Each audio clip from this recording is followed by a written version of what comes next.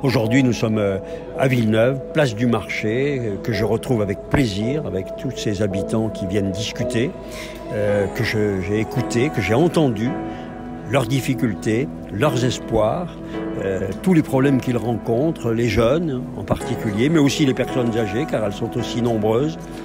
ces questions d'emploi, d'insécurité, de propreté, d'entretien, de mixité qui, a échoué dans un certain nombre de, parties du quartier.